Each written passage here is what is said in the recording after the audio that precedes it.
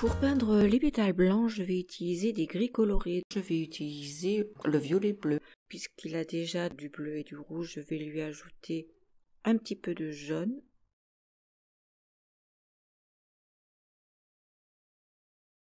Et pour foncer un petit peu plus la couleur de mon gris violet, je lui ajoute du vert. Ici, c'est du vert de Guinée.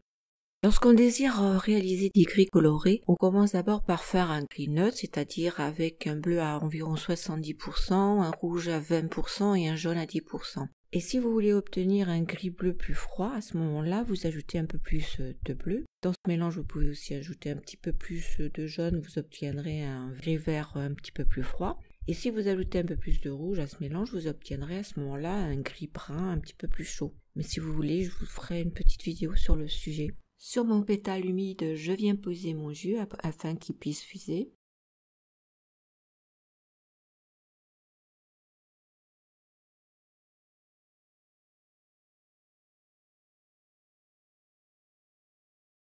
Et pour contrôler la fusion, j'utilise un pinceau propre et légèrement humide. Je peux ainsi, comme ça, prélever euh, du pigment suivant les zones d'ombre ou de lumière.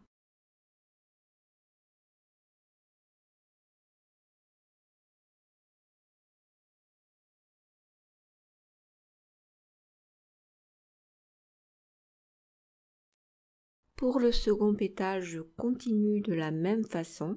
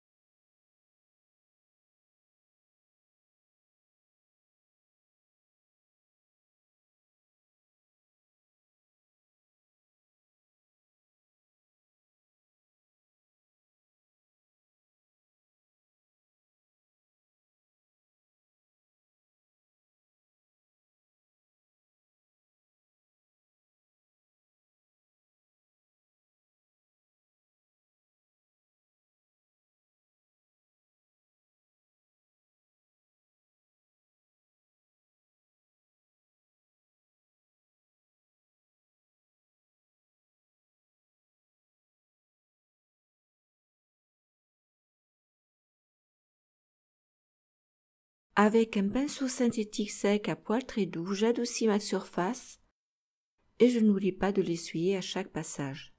Je passe à mon troisième pétale blanc. Sur le pétale humide, je pose toujours le même jus vers les zones plus ombrées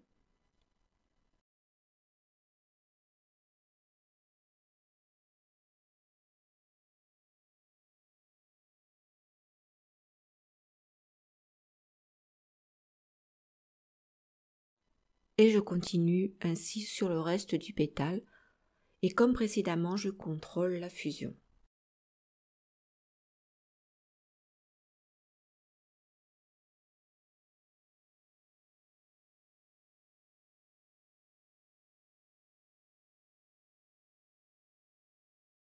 Avec euh, le pinceau liner et le pinceau rond, je vais maintenant venir renforcer les détails avec des jus un peu plus pigmentés pour cela, je vais utiliser la technique humide sur sec pour peindre les glacis.